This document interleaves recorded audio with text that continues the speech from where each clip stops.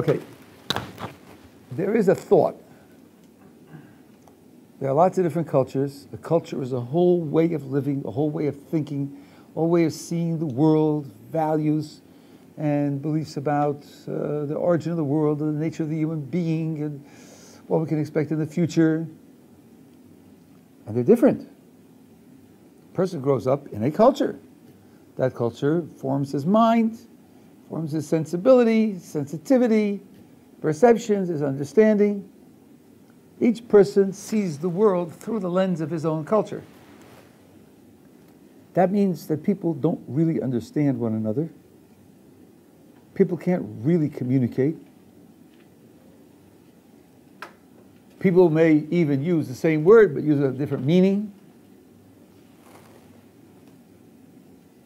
Translation from one language to another language when they come from different cultures is going to be very problematic, only very approximate, and it's going to give rise to all sorts of misunderstanding.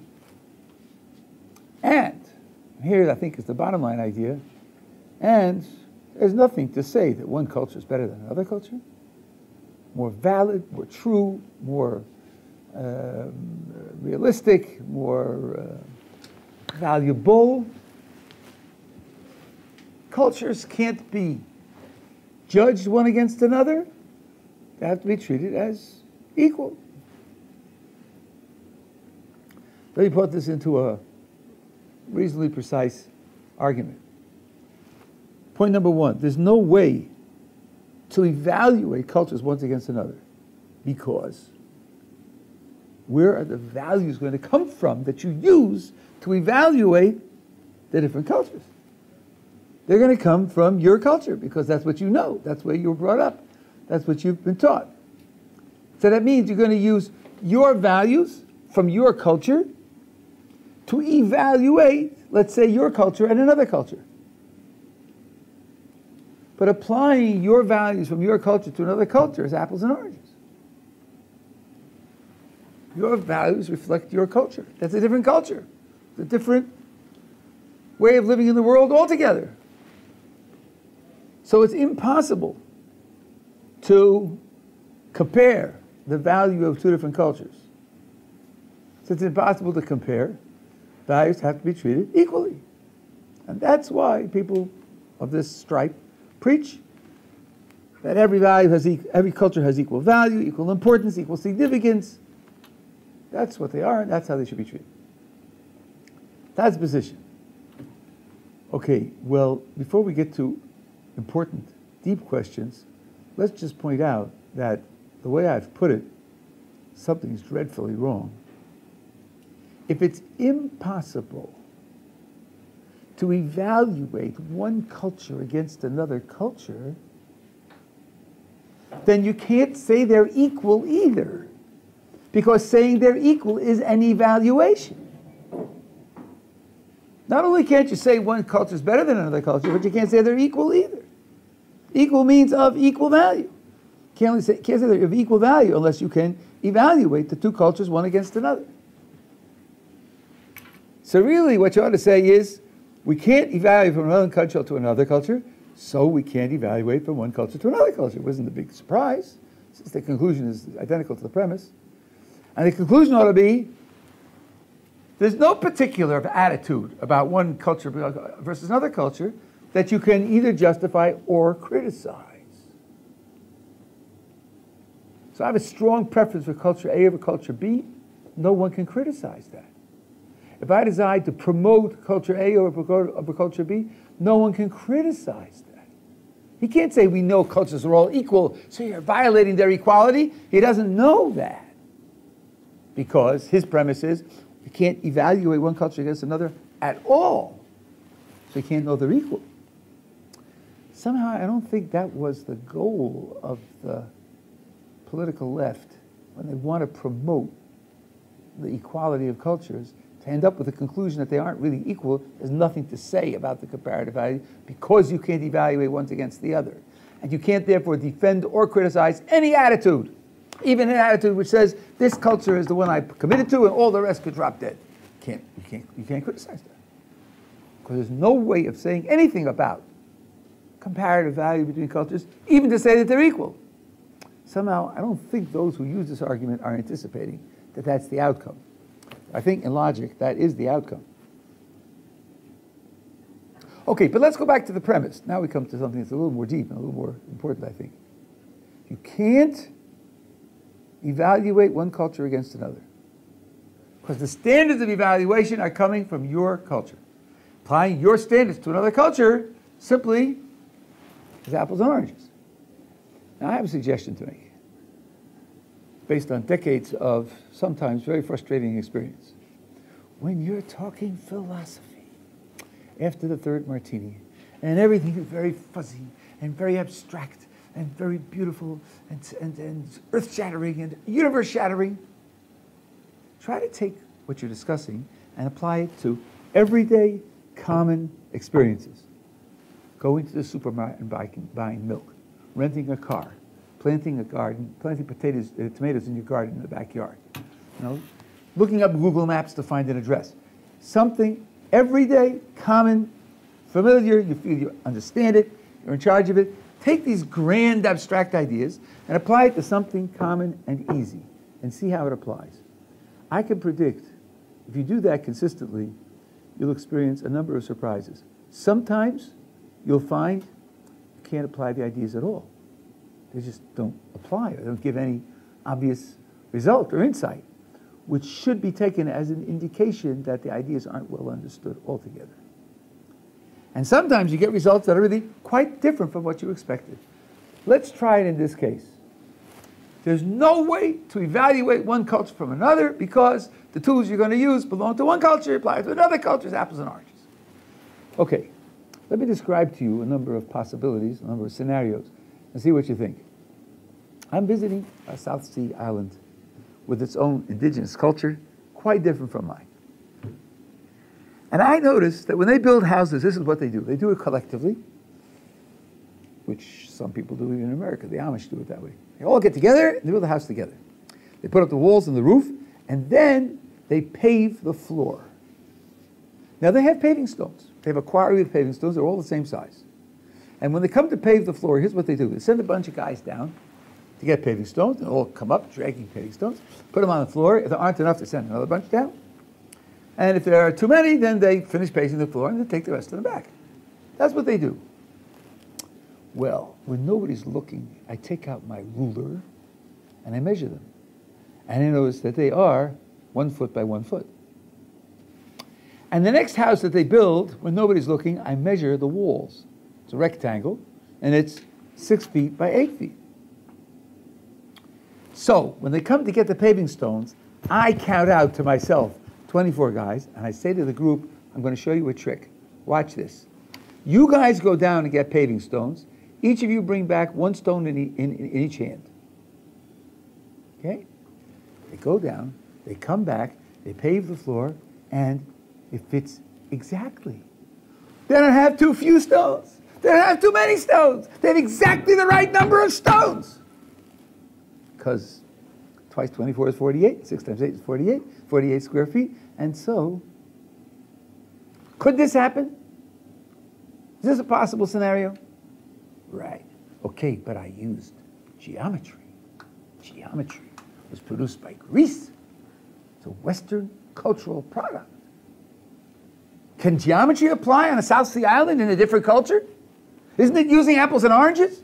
Using a Western cultural product to judge, evaluate, and guide an activity in another culture?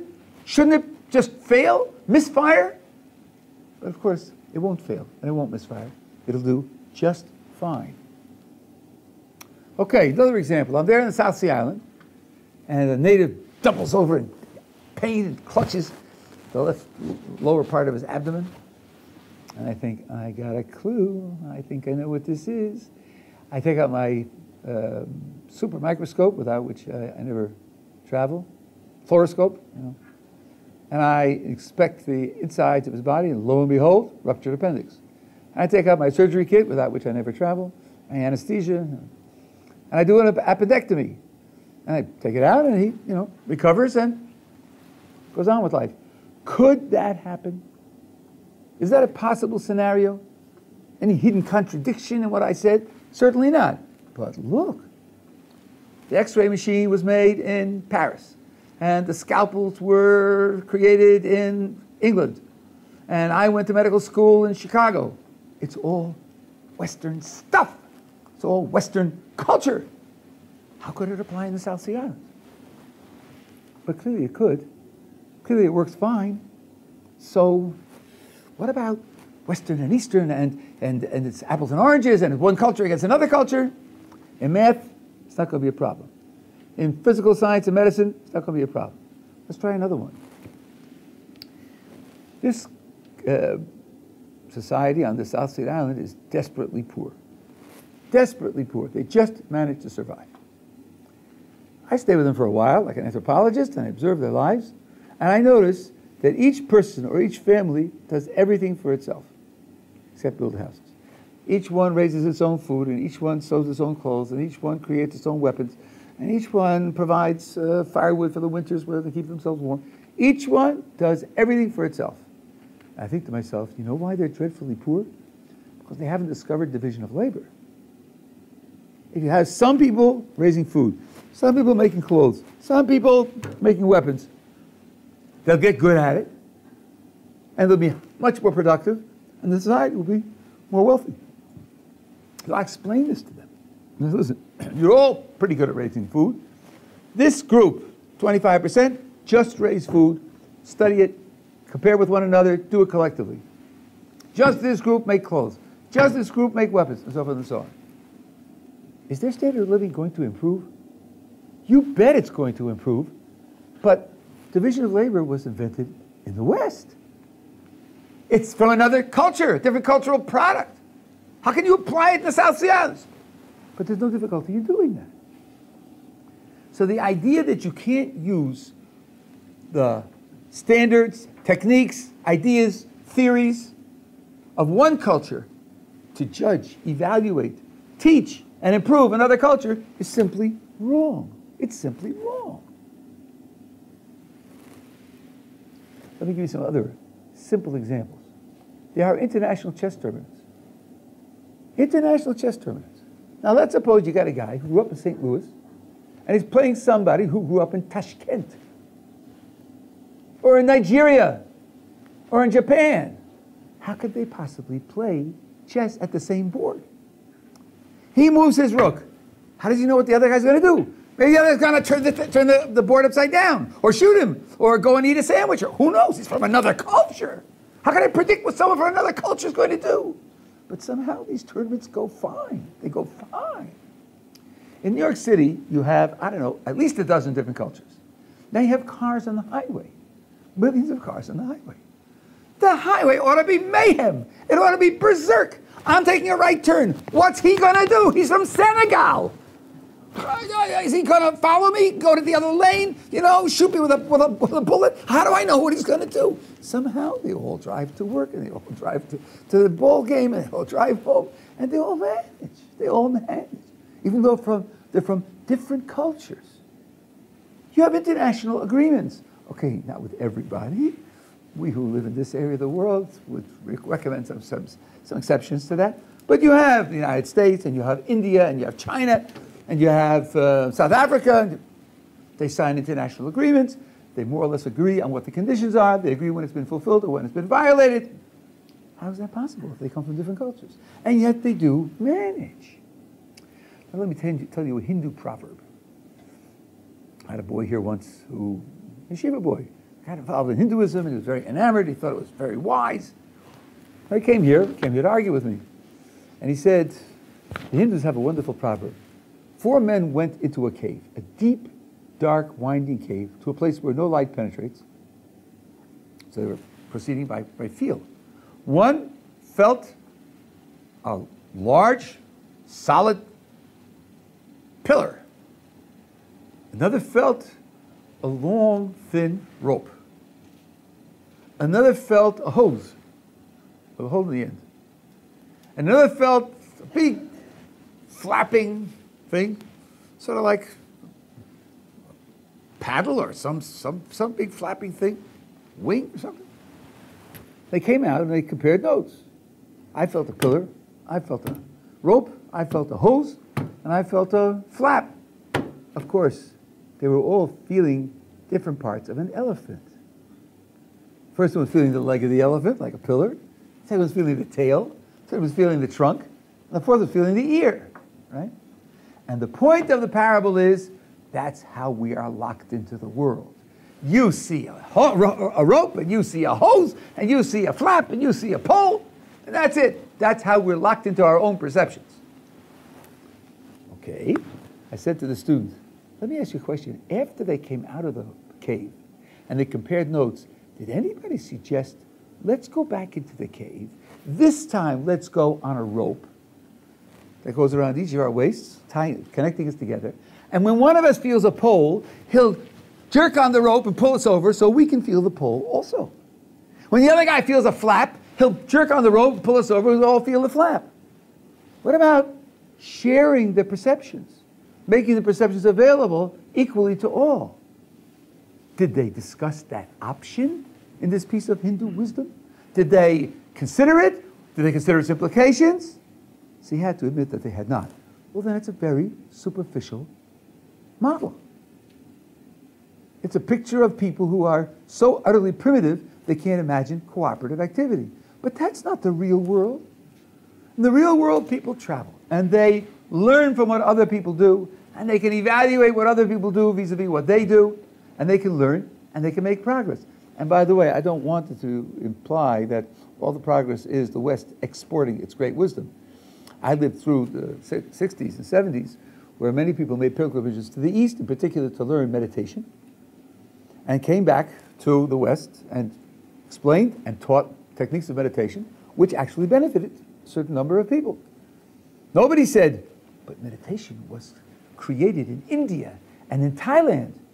It means it's a Far Eastern cultural product. You can't apply it in New York and Chicago and Los Angeles. No, they did apply in New York, Chicago, Los Angeles. Going there and seeing what they had and seeing its effects and knowing we didn't have anything comparable meant it was worthwhile to bring it back. Acupuncture, which is good for some things and not for others. It's been tested for some things and not for others. But it does have definitely some medicinal effects. That was invented in China. We didn't have a clue about it until we learned it from the Chinese, and now it is being used in the West also. So are we really locked up in our cultures and seeing things only from our cultures and can't use what's in one culture to evaluate another culture? There's absolutely no reason to say that. Absolutely no reason to say that. Indeed, in many cultures, I would say all, but if you want to say this, they're different in this respect, I won't resist you. In many cultures, you have two different kinds of cultural products. You have cultural products that are idiosyncratic, games. Not everyone is expected to play badminton or chess or, or bridge. The idea of games is that people have different tastes and you try to develop games that will appeal to wide numbers of people.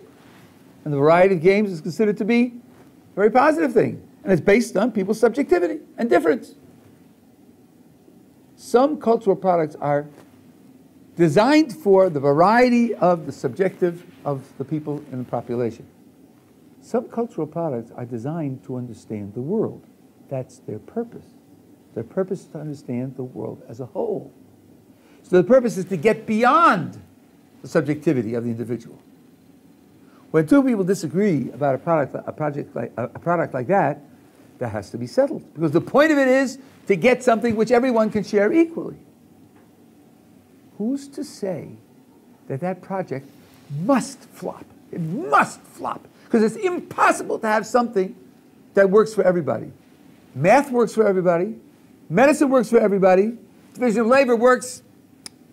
You might have a culture whose religion or whose psychology made it impossible for them. You might have a culture of cripples also. But it certainly can work on very different cultures from ours. The fact that the other culture is different doesn't mean division of labor can't help them.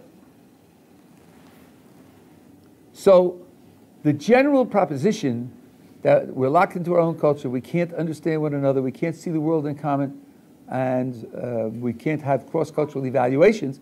Is simply, as a general pr- principle, is simply, I think, hopeless. It's hopeless. Questions up to here. Okay, now the, the standard fallback position is Okay, okay, right, Rabbi, but you're talking about facts. You're talking about facts. Math is a fact. Medicine is a fact. Division of labor is an economic fact. What we really want to talk about is values. What's right and wrong? What's good and evil? What's just and unjust? That's what we want to talk about. And there, different cultures have different conceptions, different applications, different rules, different principles. And there's nothing you can do to bridge that.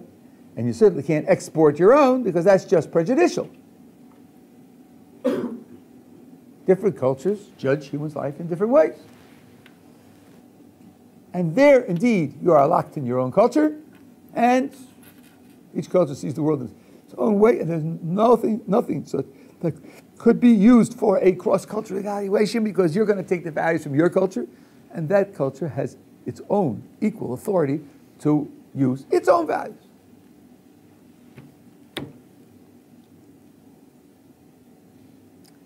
I think that's a mistake. Everything I've said up until now is common coin. In, in philosophy, everyone will agree with what I said up until now. What I'm going to say from here on is somewhat controversial. Let me start with an introduction. What kinds of disagreements can we tolerate? I don't mean tolerate, otherwise we shoot the guy. I mean tolerate as realistic disagreements. It's worth saving the humpback whale, yes or no? Okay, people disagree about that. Global warming is really happening or it's a, it's a made up artifact. People disagree about that. What about this? There are tables. There are tables. Tables exist. There are tables. Suppose somebody comes in and says, listen, I have something to tell you guys. I know you believe in tables. I know you have this theory, this theory or hypothesis about the world that there are tables. I disagree. I say there aren't any tables. Do me something. I find it very hard to imagine taking that seriously. There are no tables. Maybe he's joking. Okay, he's not joking. Maybe he's ill. He's got some kind of disorder, some, some, something wrong. No, nothing wrong with him. Maybe by T A B L E S, he means something different from what I mean. That's the move that we most often make. Somebody says something in a discussion which seems absolutely ridiculous, and you say to yourself, look, he's intelligent, he's serious, he means it. It can't be he means what the words say to me, because what he, the words say to me is ridiculous. So you stop and ask him, what do you mean when you say that? Explain it to me. I'm sure you couldn't mean what, what I hear. So that's another possibility. He doesn't mean by T-A-B-L-S what? T-A-B-L-E-S what I mean. Maybe he means radioactive tables, or maybe he means solid diamond tables, or maybe he means you know, tables that are 2,000 years old, or uh, who knows what he means. But no, he's serious, and he's sane, and he's competent, and he means what I mean. I don't think we can make any sense out of it because it's obvious that there are tables. It's obvious. So, a person who's serious, who's mentally competent, and who means the same thing that I mean, can't make that mistake. He can't make that mistake. It's not possible. And therefore, I can't take it seriously. I've got to think either he's not serious, or he's not competent, or he means something different by his words. Something that's so obvious can't be the matter of a mere dispute. The word mere is in there as a scare word. It's a qualification. I'll come back to that if I have time at the end. But a mere dispute. You, and by the way, notice the prejudicial words I put in his mouth. You have a theory that there are tables. You have a hypothesis that there are tables. That's ridiculous. I have a theory about tables. Evolution is a theory. Tables are not a theory. Tables are right in front of you. I'm gathering evidence that there are tables. I'm sitting at a table. Just to disagree about that is just, it's not, in, it's not, in the, it's not in the offing. Someone says, I've heard a lot about the way you do math, and I understand that you're committed to 2 plus 2 is 4. Okay, that's your choice. It's a free world. For me, 2 plus 2 is fine. That's all. For you, it's 4. For me, it's fine. I suggest to you that we can't understand that. What? 2 plus 2 is 5. I can't imagine how you could think that. I can't imagine a mind working that way. If you say those words, I've got to think, you're not serious, or you're not competent, or when you say 2 plus 2 is 5, you mean something that I don't mean. You mean something else. Beyond that, I can't deal with you. Like Aristotle said, there's a law of non contradiction. If you contradict yourself, you got to give up. And Aristotle said, if you meet somebody who says, contradict myself, what's the problem? It is raining here and now, and it is not raining here and now. That's my position. Aristotle said, stop talking to him. Stop talking to him. There's nobody home. Not, if he's willing to accept a contradiction like that, then just, you know, go play basketball or something. Leave it, leave it alone. Don't talk to him. So, when a person simply denies something that's crashingly obvious, at that point we can't take him seriously anymore. And that's true for there being tables. That's true for math.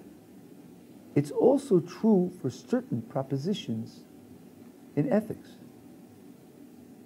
Here's one the philosophers like, which reveals the sort of vicious and, and antagonistic side of philosophers. It is wrong to torture small children for fun. Now, there are many controversies in ethics and morals, many propositions that are discussed and debated, many propositions about which people are in doubt. Uh, not that I contradict you, but I can't figure out what's right, and you can't figure out what's right. But this ain't one of them. It's wrong to torture small children for fun. There's no discussion about that. And if somebody said, Oh, you think there's no discussion? Watch, I'll make one. I say it's okay to torture small children for fun. I suggest to you, we can take him as little seriously as someone who says 2 plus 2 is 5, or someone who says that there are no tables. It's morally permissible to torture small children for fun? That's a clear case. That's an obvious case. To say that is just to be out of the circle. You're just not, not addressing the subject. It's a non option. Again, as a mere disagreement. You hold this, I hold that. It's a non disagreement. So, here's one way to start to enforce standards in morality by saying a person who steps too far over the line tries to pre- present himself as taking a moral position that's too far out of the pale is putting himself in a position where he cannot be taken seriously, just like a person who says there are no tables, or a person who says 2 plus 2 is 5. And that means if someone tells me that there's a culture that believes that it's morally permissible to torture small children for fun, I've got to reject that. Now let me show you how I reject it using the same logic that I've been using for the last 10 minutes. Let me show you how I reject it. We'll come down hard on the idea that they don't mean what we thought they meant, and then I'll bring that back to our culture and show you why that's a key move. Imagine an anthropologist, this actually happened. He goes to visit some tribe somewhere. He's the first one to visit. There's no common language. He's got to learn the language. So they are running around doing their various things and making noises. And he's got to figure out how those noises work with what they're doing. That's a job. It's not an easy job. It's a job that can go wrong.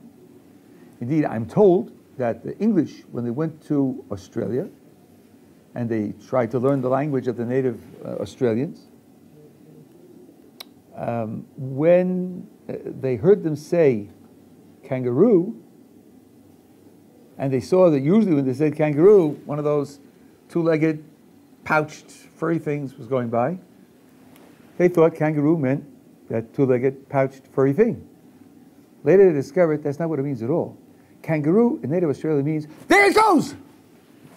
And the kangaroos were going. And they were the thing that was going. So they said, kangaroo, kangaroo!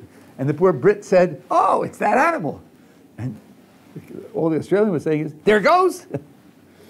they found that out after a while. So, so you're dealing with a, a culture, you're hearing them speak, you're trying to figure out what they're saying. It's a game. It's a, it's, I say game. It's a, it's a, it's an effort. It's a guess. It's a hypothesis. It could be right. It could be wrong. You may have to change it later. Now, there was a French Jewish sociologist named Claude Levi Strauss. Claude Levi-Strauss claimed to have discovered a group of people whom he called pre-logical, a pre-logical tribe. He said, I've listened to them talking, I've built up a dictionary, and I can translate what they say, and they are happy to say, it is raining now and it is not raining now, here. They're happy to say that. So you see that they just don't have any logic. They're before logic. To them, the contradiction doesn't faze them. Well, he was criticized by Willard Van Orman Quine, among other people, in the following way. Your dictionary translates them as saying something patently absurd. Maybe the problem isn't in their pre-logical minds. Maybe the problem is in your dictionary. If your dictionary translates them as saying something absolutely absurd, maybe you should condemn your dictionary. Your dictionary wasn't given at Sinai. He didn't say that, but I'm saying that. It wasn't given at Sinai. Don't guarantee your dictionary is right. One thing you do when you translate somebody is try to make sense out of him. If he looks like a normal human being, if he has a society, if he's living reasonably successfully, then he's not going to believe absurd things. So then your dictionary is wrong. This became known in linguistics as the principle of charity. Principle of charity is I'm human and he's human. He's living under conditions that we all live under. He's living, he's not dying, he's not committing suicide. He uh, has social cooperation. He fights wars. He has production. He can't be totally out of touch with reality. He can't be. Couldn't function that well if he was totally out of touch with reality.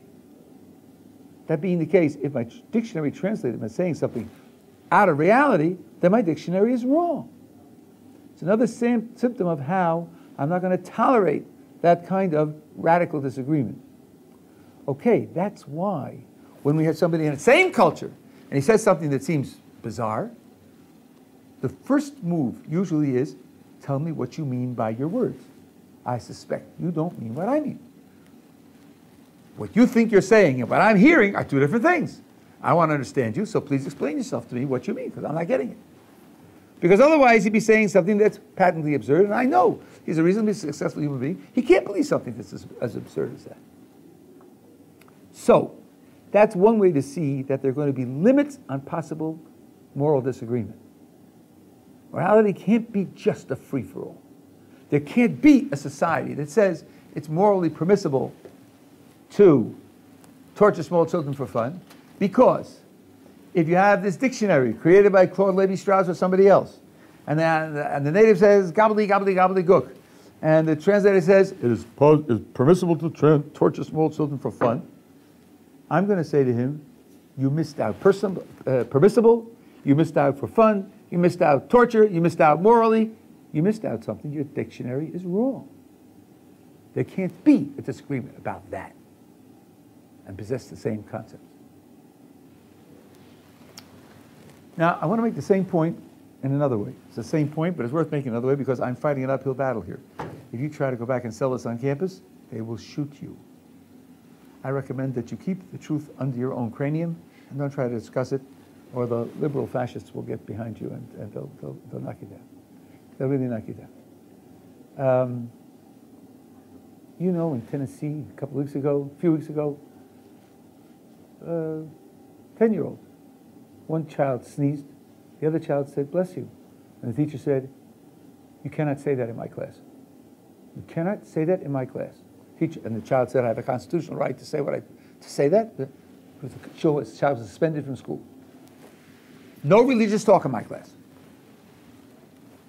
It's not an exaggeration. Anyway, um, let's go back to the critic. The critic says different cultures have different ethics, different morality.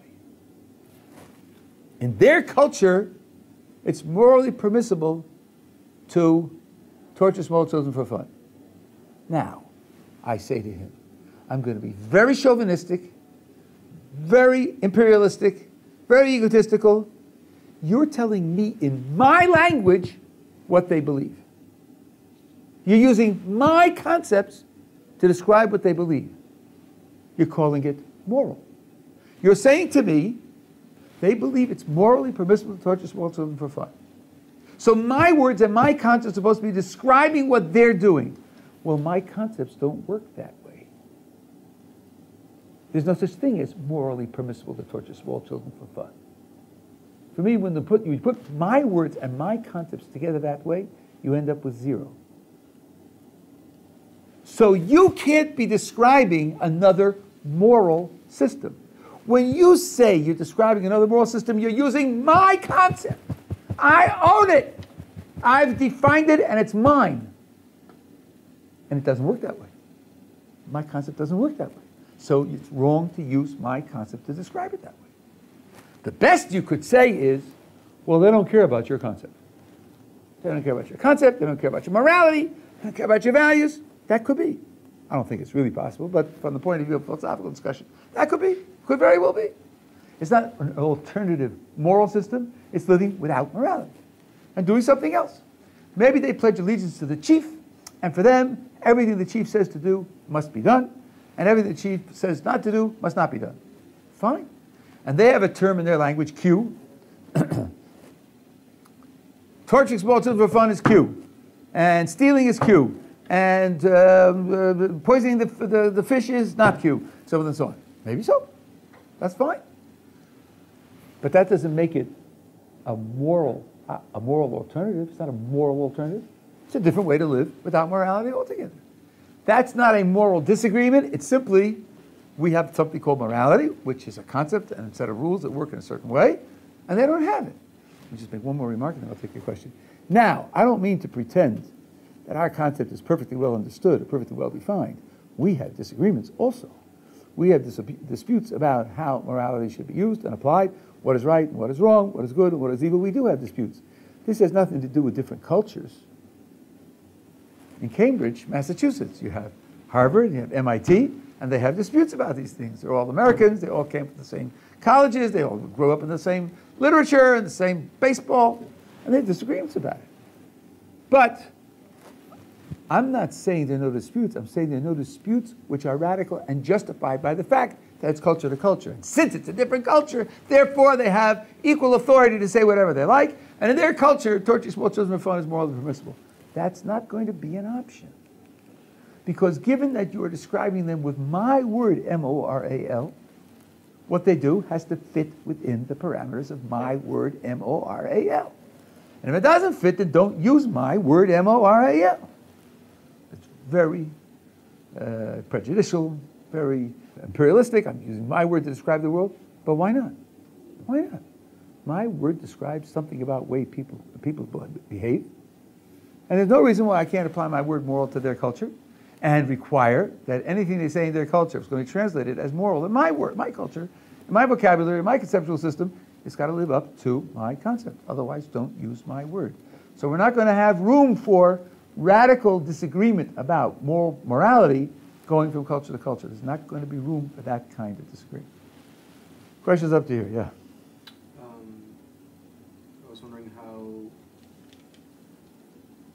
So, are you making a point to say that the word moral is, um, at least for us, that the word moral comes from we pledge allegiance to Chief Q God, or sorry, Chief God.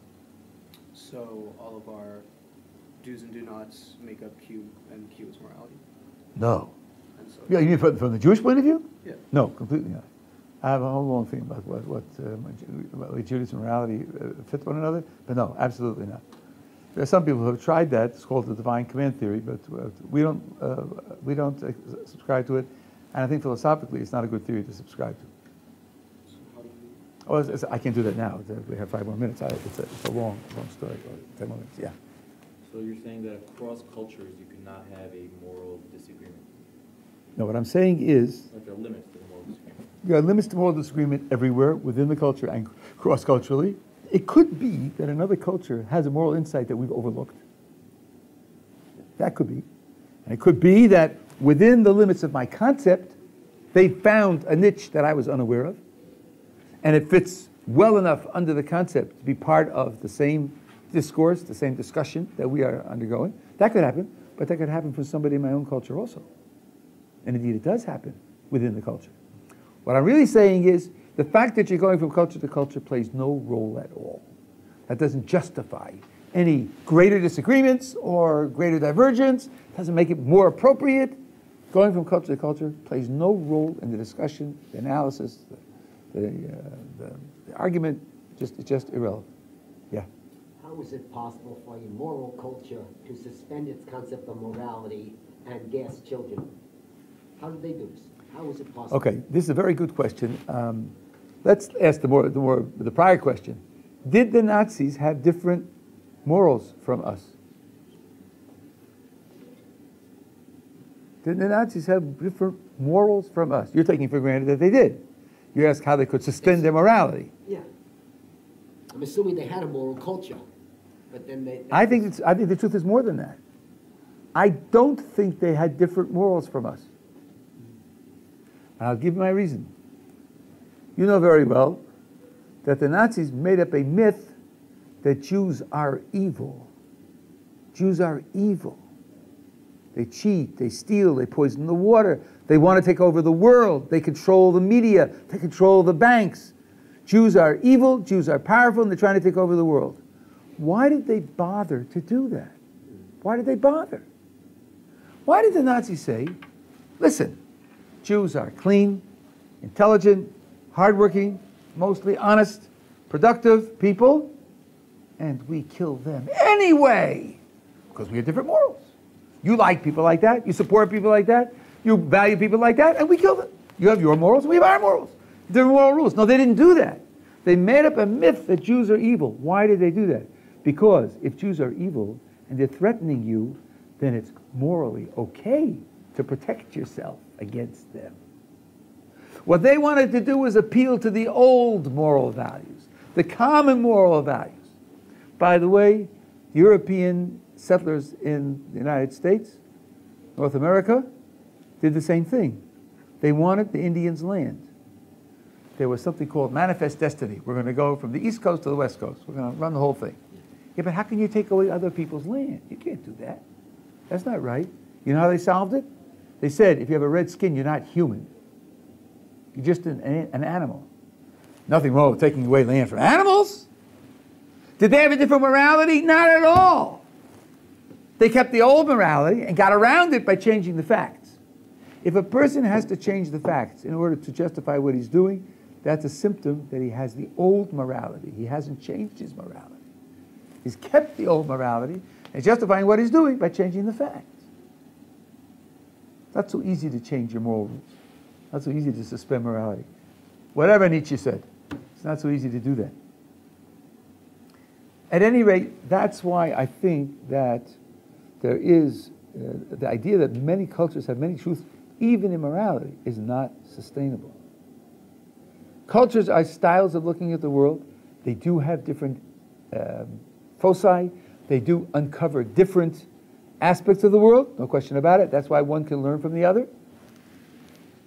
But to say that they're locked in their own scheme and they can't communicate, can't coordinate, can't integrate, that's certainly false. We have endless examples of that. There was a time, I think that I'm getting the dates right, in the end of the 19th century, European art was stagnating, and people went to Africa and to the South Seas to see what people were doing there and got some inspiration from it.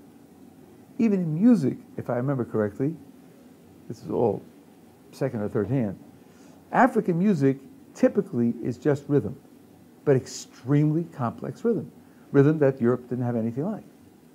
Okay, so they don't have bassoons. They don't have a double bass. They don't have a piccolo. Okay, but they have rhythms. And you can learn something from that. So when you're looking for inspiration, you go to another culture and see what they have and use that as inspiration. Japanese miniature trees. They're unbelievable. You have a tree, which in our forest would be 60 feet tall, and it's 18 inches tall. It's unbelievable. And it real, it's real, and it, and it grows.